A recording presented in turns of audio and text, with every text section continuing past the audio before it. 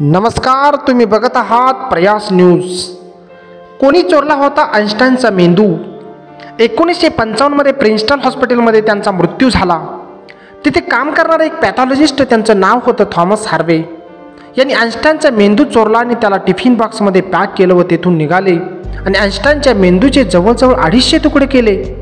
दुनियेच्या वेगवेगळे डॉक्टरकडे तो मेंदू घेऊन फिरू लागले आणि सगळ्या डॉक्टरकडे चौकशी करू लागले की त्यांचा मेंदू आपल्या मेंदूपेक्षा कसा भिन्न आहे. सरतेसोटी वीस वर्षानंतर उरलेले मेंदूचे चाळीस ते पन्नास तुकडे परत केले ते आता अमेरिकेच्या मटर म्युझियममध्ये ठेवलेले आहेत. आईन्स्टाईनला असे कधीच वाटले नव्हते की आपल्या मेंदूवर आणि बॉडीवर रिसर्च व्हावा. हा व्हिडिओ तुम्हाला कसा वाटला कमेंट करून नक्की कळवा. चॅनलला लाईक शेअर आणि सबस्क्राईब करायला विसरू नका. धन्यवाद.